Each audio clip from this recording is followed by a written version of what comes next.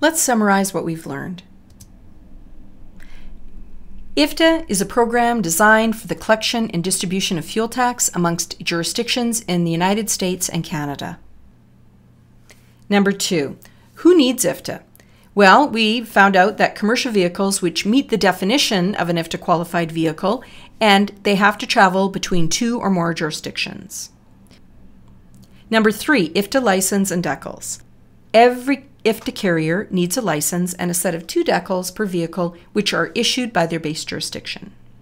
Number four, IFTA is based on distance traveled and fuel purchased, and these numbers form the basis for quarterly tax reports filed with the carrier's base jurisdiction.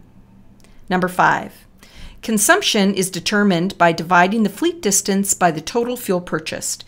The fleet MPG is then used to calculate consumption by jurisdiction which leads to number six, the IFTA quarterly return, and that's where all the netting of the taxes takes place. The totals are derived from consumption less tax paid to give a net tax due, either a debit or credit. And these numbers are filed on a quarterly tax return with the carrier's base jurisdiction. Number seven, the IFTA clearinghouse is where all the distribution between the jurisdictions happens. The carrier sends their information to their base jurisdiction, and then in turn, the base jurisdiction files their numbers with the IFTA clearinghouse, and everybody gets their money. Wow, that's a lot.